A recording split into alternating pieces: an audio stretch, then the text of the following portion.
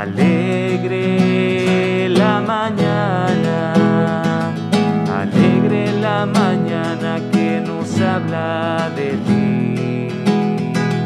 Alegre la mañana, en nombre de Dios Padre, del Hijo y del Espíritu salimos de la noche esperamos la aurora saludamos el gozo de la luz que nos llega resucitada y resucitadora. En nombre del Padre, del Hijo, del Espíritu Santo, la paz y el amor de Jesucristo estén con todos ustedes. Hoy la iglesia recuerda a un obispo, doctor de la Santa Madre Iglesia de la época patrística, San Pedro Crisólogo. Vamos a ofrecer esta Eucaristía por todos los obispos de Venezuela y del mundo, para que en su ministerio, en comunión con el Papa, pues guíen en salud espiritual y corporal al pueblo de Dios. Quiero ofrecer esta Eucaristía también con un recuerdo por el doctor Chávez, quien fuera director del Hospital del Seguro. Han comunicado que falleció, que el Señor le dé la vida eterna. Por Ana Zambrano y por todos los enfermos que en el estado Táchira tienen eh, la infección del coronavirus para que sean fortalecidos en el espíritu y en el cuerpo. Pedimos ahora a Dios perdón por nuestros pecados.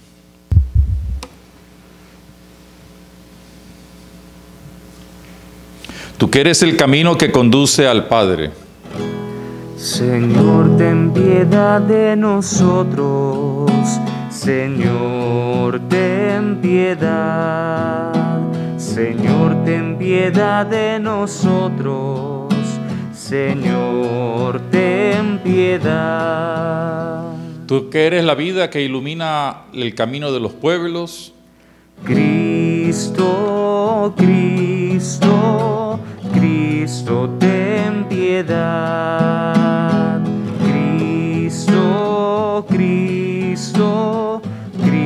Cristo, ten piedad. Tú que eres la vida que renueva al mundo. Señor, ten piedad de nosotros.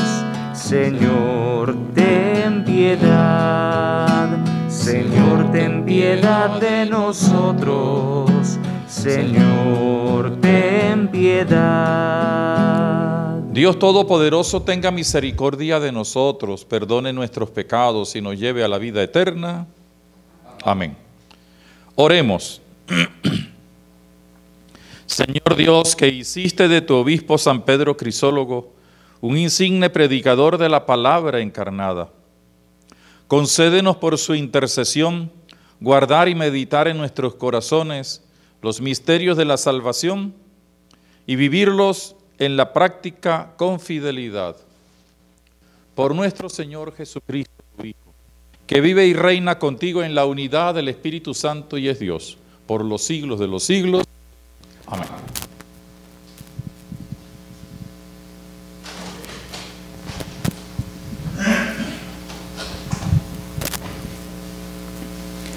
Lectura del libro del profeta Jeremías. Esto es lo que el Señor me dijo.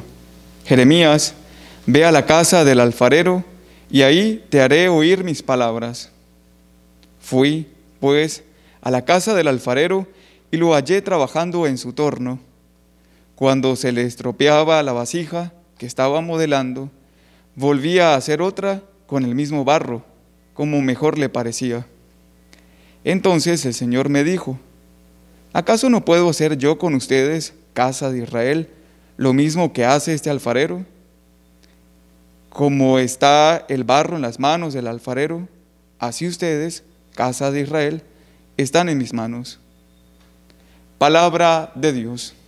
Te alabamos, Señor. Dichoso el que espera en el Señor. Dichoso el que espera en el Señor. Alaba alma mía al Señor. Alabaré al Señor toda mi vida. Tocaré y cantaré para mi Dios mientras yo exista. El que espera en el Señor. No pongas tu confianza en los que mandan, ni en el mortal que no puede salvarte. pues cuando mueren se convierten en polvo y ese mismo día se acaban sus proyectos. Dichoso el que espera en el Señor, dichoso aquel que es auxiliado por el Dios de Jacob y pone su esperanza en el Señor de su Dios, que hizo el cielo y la tierra, el mar y cuanto el mar encierra. Dichoso el que espera en el Señor.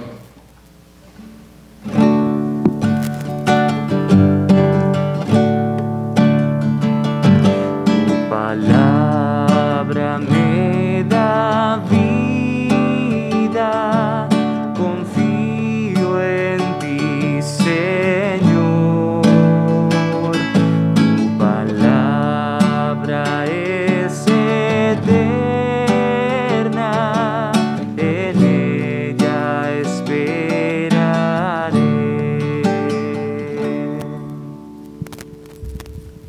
El Señor esté con ustedes.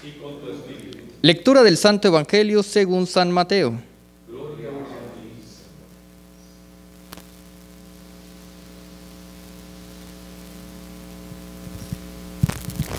En aquel tiempo, Jesús dijo a la multitud, el reino de los cielos se parece también a la red que los pescadores echan en el mar y recoge toda clase de peces. Cuando se llena la red, los pescadores la sacan a la playa y se sientan a escoger los pescados. Ponen los buenos en canastos y tiran los malos. Lo mismo sucederá al final de los tiempos. Vendrán los ángeles, separarán a los malos de los buenos y los arrojarán al horno encendido. Allí será el llanto y la desesperación.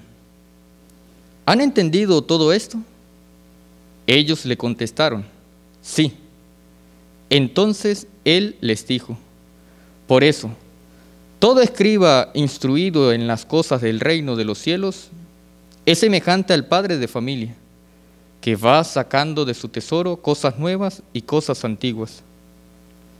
Y cuando acabó de decir estas parábolas, Jesús se marchó de allí. Palabra del Señor.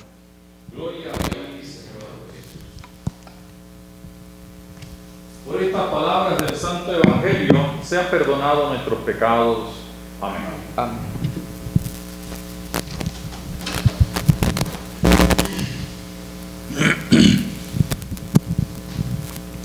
Queridos hermanos todos en el Señor Jesús, el profeta Jeremías eh, como persona, pues fue, tiene una personalidad un poco controvertida, yo diría que incluso hasta irreverente, porque se atrevió a decirle a Dios que él no quería ser profeta y le puso sus razones.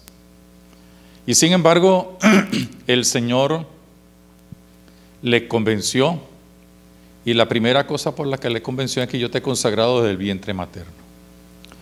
Pero toda la historia y toda la profecía de Jeremías habla de esa lucha interna.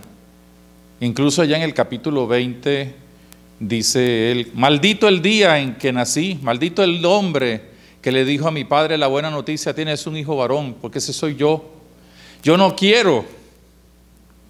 Yo, yo estoy en contra de, de todo lo que tengo que hacer, pero tú, Señor, me sedujiste y yo me dejé seducir.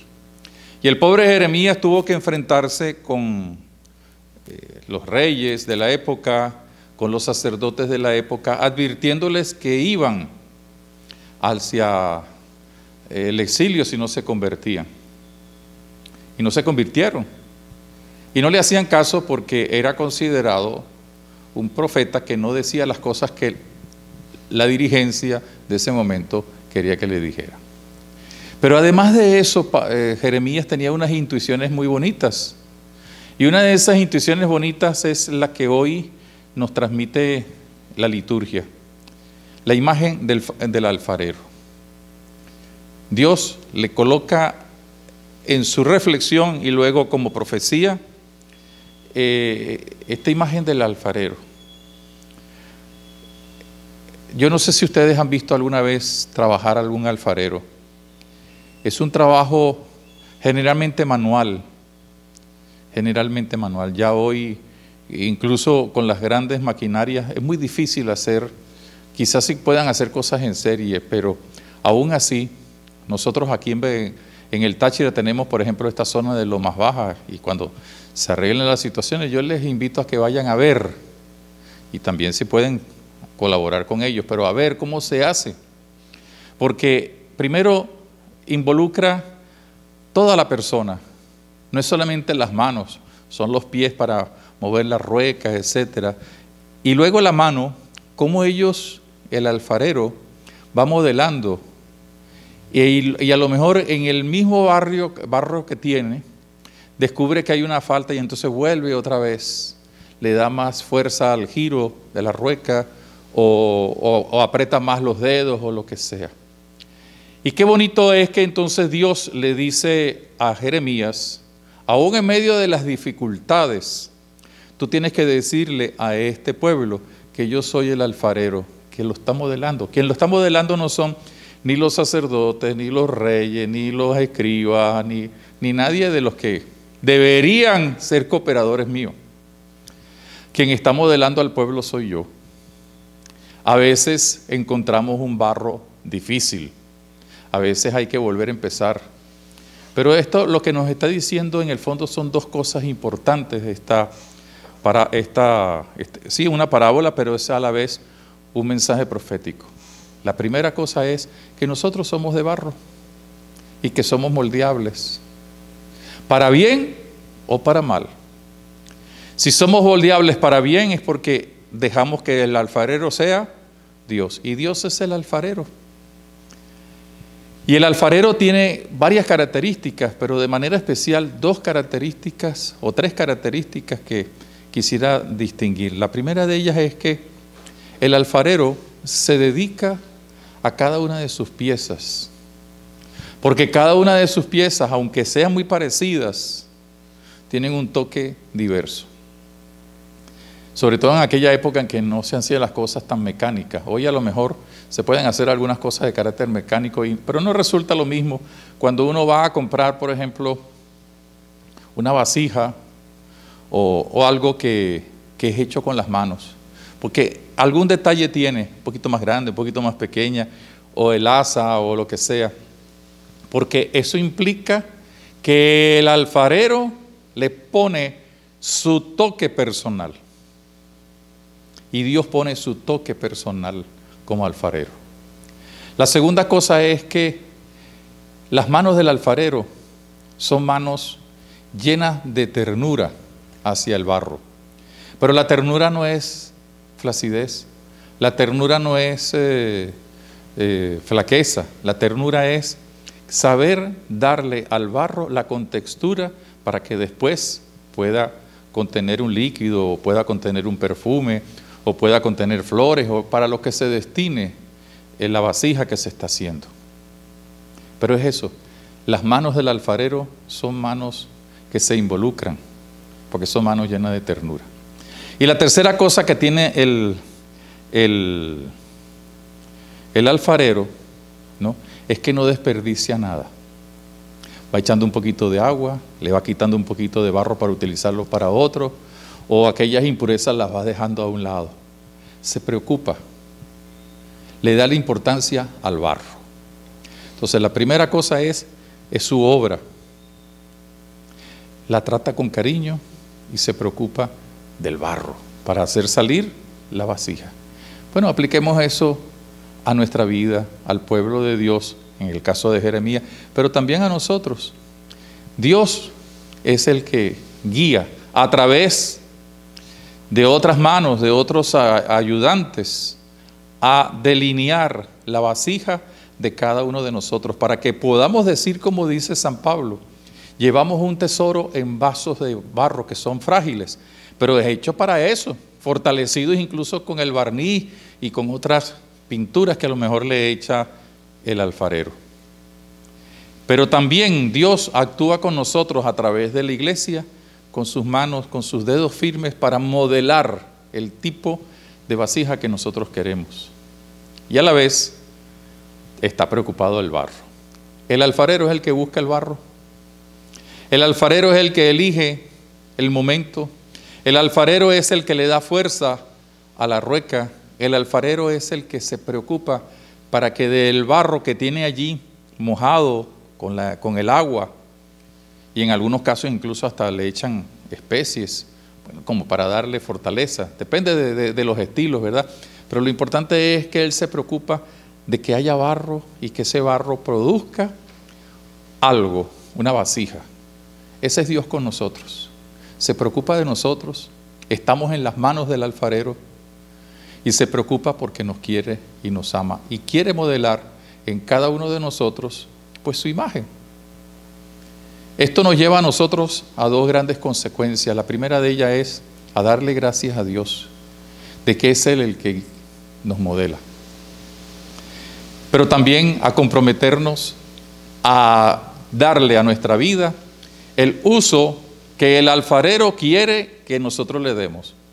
Y utilizamos la expresión de San Pablo, llevamos un tesoro. ¿Cuál es ese tesoro? La salvación, el amor, la presencia, la dignidad.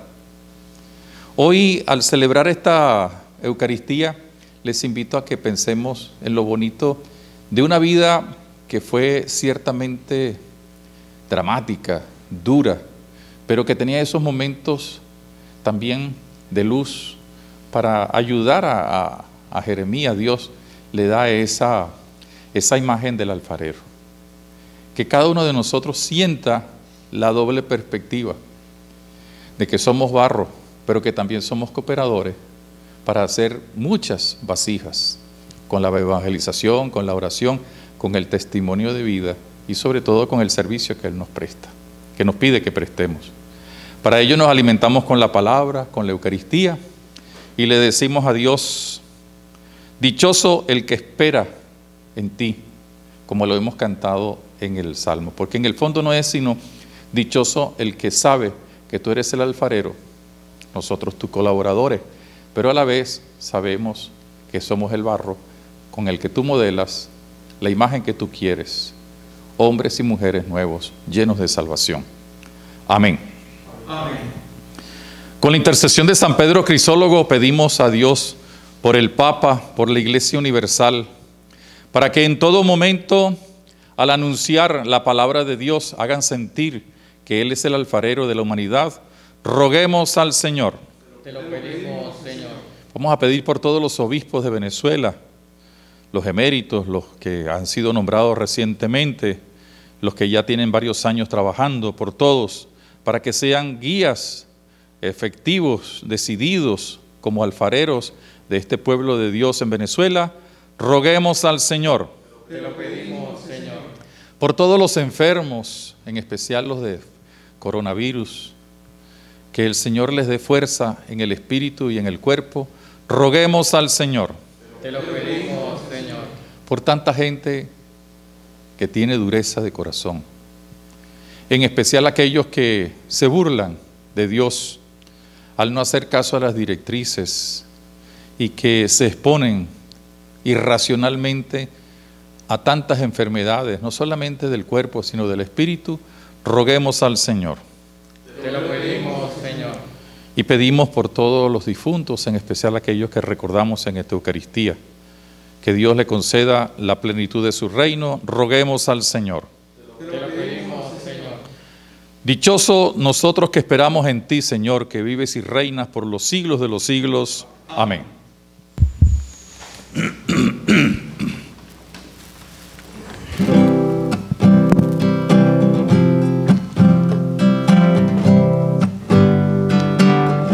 Aquí estamos, Señor, al frente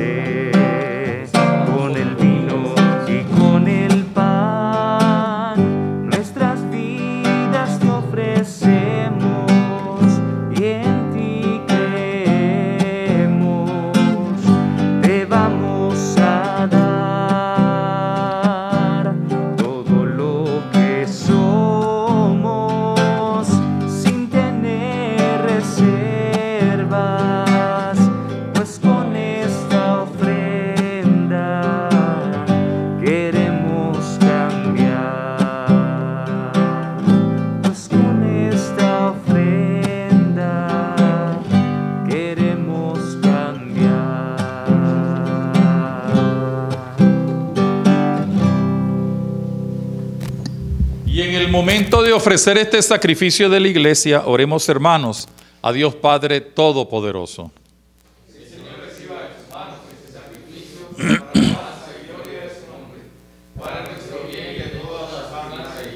Señor, dirige tu mirada propicia sobre las ofrendas que te presentamos hoy al recordar a San Pedro Crisólogo, que ellas nos merezcan tu perdón y glorifiquen tu piedad y tu nombre. Por Jesucristo nuestro Señor.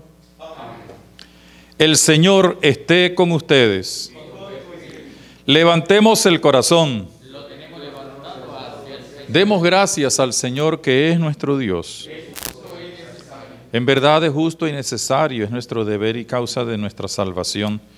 Darte gracias siempre y en todo lugar, Señor Padre Santo, Dios Todopoderoso y Eterno, por Cristo, Señor nuestro. Porque concedes la alegría a cada uno de nosotros de celebrar hoy la fiesta de San Pedro Crisólogo, fortaleciendo a tu iglesia con el ejemplo de su vida y de su palabra, construyéndola con su ejemplo y protegiéndola con su intercesión. Por eso con los ángeles y los santos cantamos ahora el himno de tu gloria.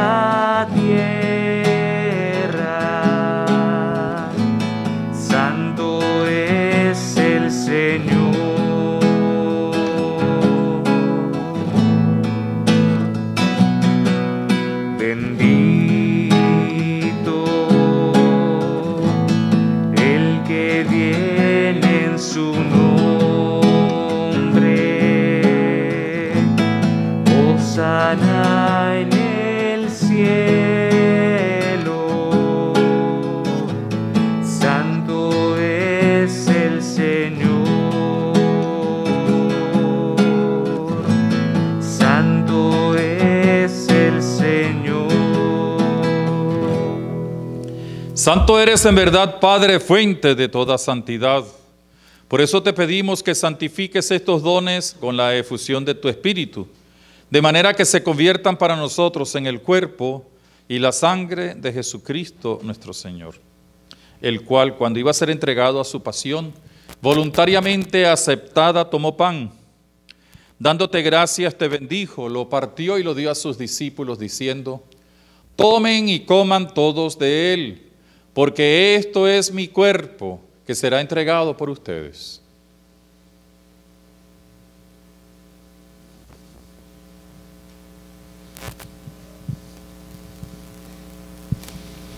Del mismo modo, acabada la cena, tomó el cáliz.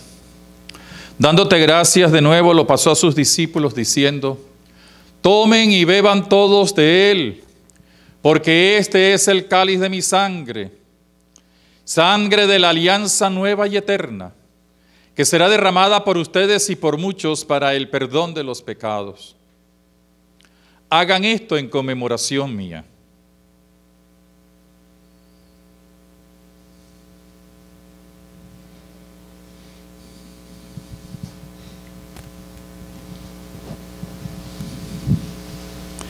Y este es el sacramento de nuestra fe.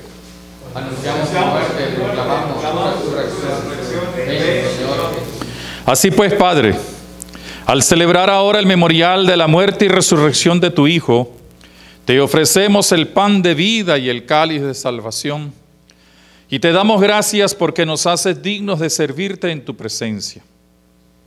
Te pedimos humildemente que el Espíritu Santo congregue en la unidad a cuantos participamos del cuerpo y sangre de Cristo. Acuérdate, Señor, de tu iglesia extendida por toda la tierra y con el Papa Francisco, con nuestro obispo Mario, y todos los pastores que cuidan de tu pueblo, llévala a su perfección por la caridad.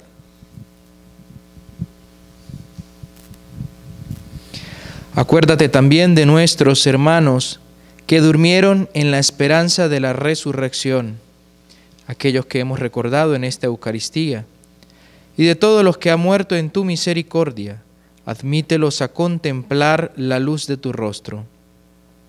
Ten misericordia de todos nosotros, y así con María la Virgen, Madre de Dios, su esposo San José, los apóstoles, San Pedro Crisólogo, y cuantos vivieron en tu amistad a través de los tiempos, merezcamos por tu Hijo Jesucristo compartir la vida eterna y cantar tus alabanzas. Por Cristo, con Él y en Él, a ti Dios Padre Omnipotente, en la unidad del Espíritu Santo, todo honor y toda gloria por los siglos de los siglos. Amén.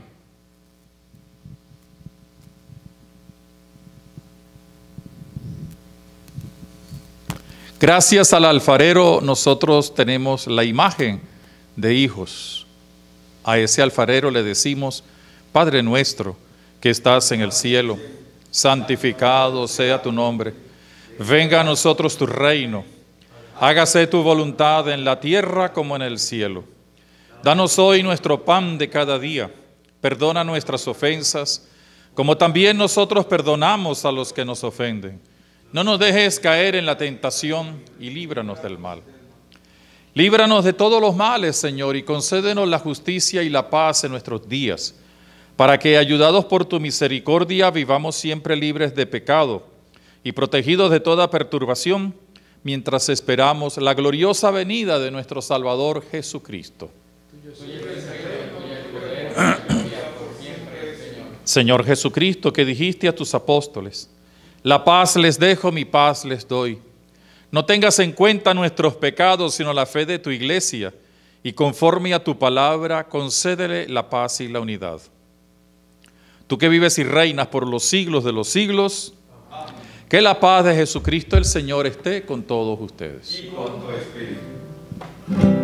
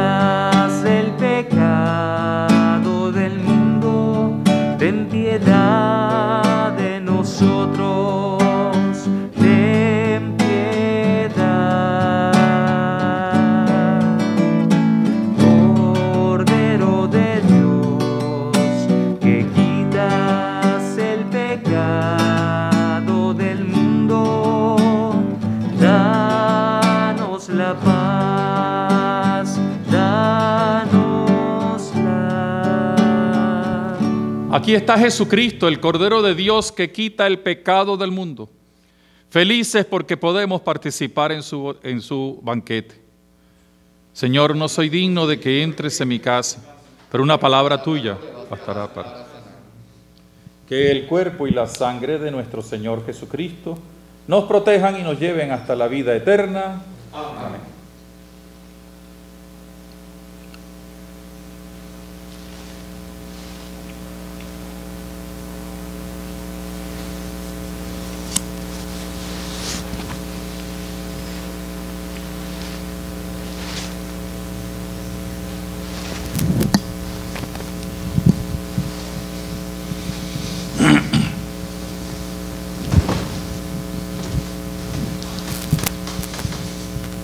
Quienes nos siguen por la radio, televisión, redes sociales, en este momento podemos decir, gracias Padre, porque eres el alfarero que modelas el barro de nuestras vidas para hacernos a tu imagen como hijos.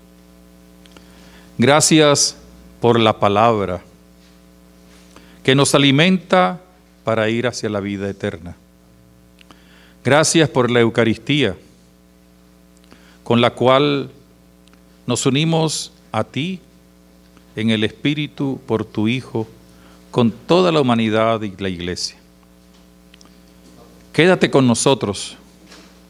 No te podemos recibir sacramentalmente, pero estás con nosotros en tu palabra y en los frutos de la Eucaristía.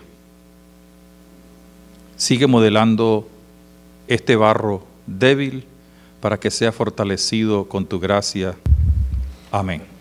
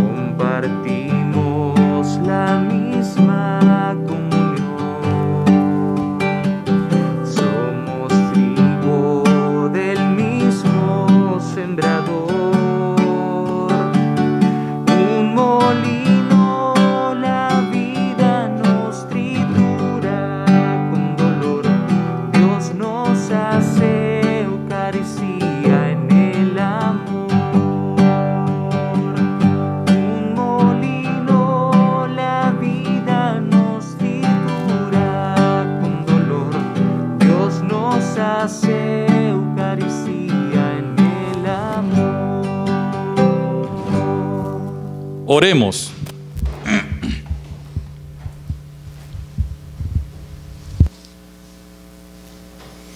Reanimados por estos sacramentos, te rogamos, Señor, humildemente, que a el ejemplo de San Pedro Crisólogo nos esforcemos en dar testimonio de aquella misma fe que él profesó en su vida y en llevar a la práctica todas sus enseñanzas. Por Jesucristo nuestro Señor. Nuevamente queremos insistir, pareciera que estamos arando en el mar, como dijo una vez Bolívar, el libertador, pero queremos insistir en la necesidad de todos, para que todos nos cuidemos. En los últimos días ha crecido exponencialmente el número de contagiados y de muertos en el país y aquí en el Táchira igual. Y todo porque estamos, de acuerdo a los parámetros médicos, pues en ese momento exponencial de su vida. Y el mejor remedio es cuidarnos, cuidarnos. Algunos eh, se lo están haciendo, pero hay una inmensa mayoría que no lo está haciendo. Incluso dudan, hay quienes también dudan de que esto sea verdad. Y no pueden decir que es mentira porque tenemos ya un buen número de enfermos en nuestros hospitales aquí en el Táchira y algunos han fallecido. También quiero pedirles a aquellos que insisten en organizar peregrinaciones, grandes caminatas de peregrinos, eh, la peregrinación con motos y con no sé cuánto, que desistan, por favor. No vamos a tener abierto ni la basílica ni el santuario. Yo sé que esto molesta a muchos, pero es en beneficio de todos. Yo les garantizo que el día que ya se abran los templos, llenaremos, no, no la grita, llenaremos el Táchira con tantos hombres y mujeres peregrinos venidos de tantas partes. Pero sigamos nuestra peregrinación virtual y pidámosle a Él que nos escuche en nuestra plegaria.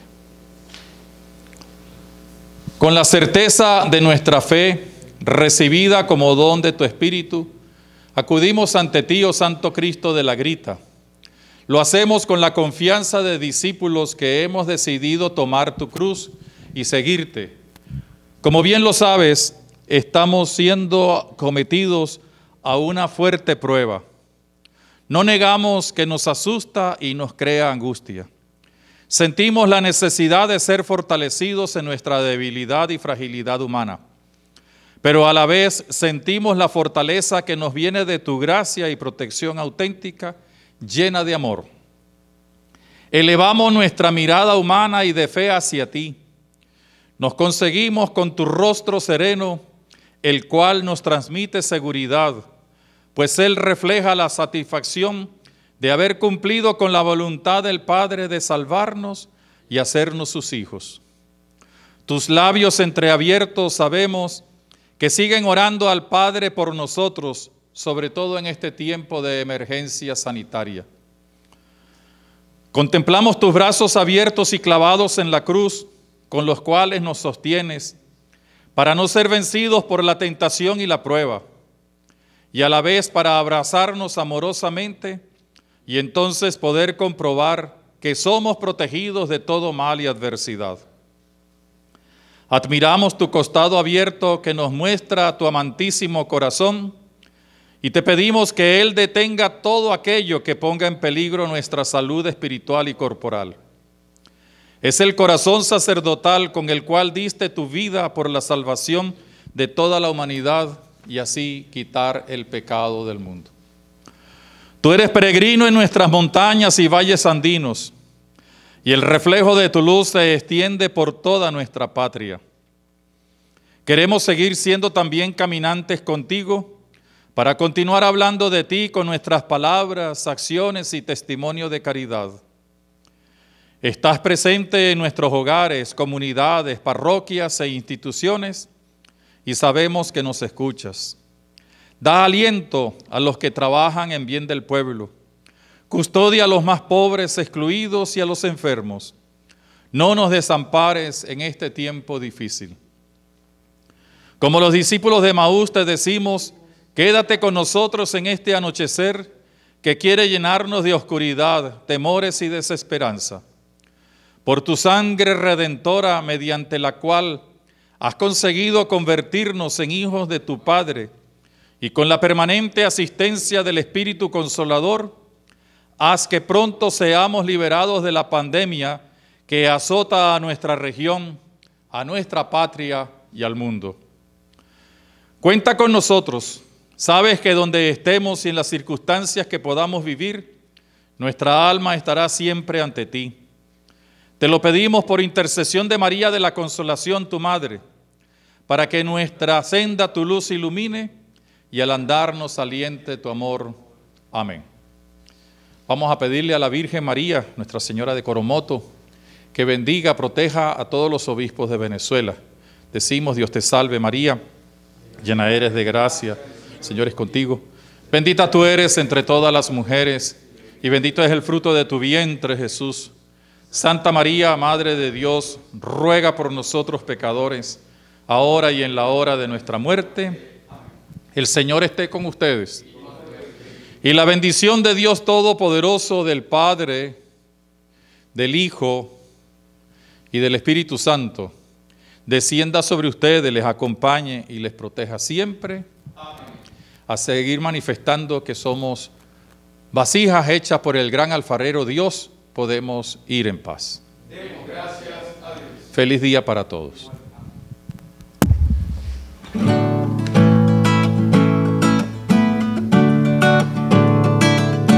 Somos en la tierra